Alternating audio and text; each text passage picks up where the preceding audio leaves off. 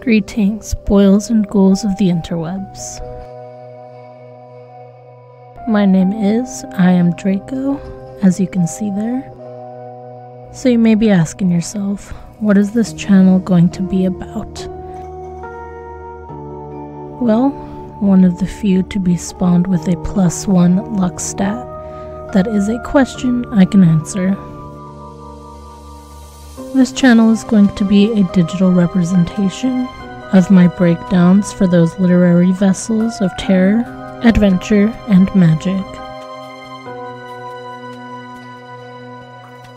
I will be discussing them in detail and giving my thoughts towards whatever we are reading. So basically, it is going to be an easily accessible book club filled with deep thoughts and deeper sarcasm.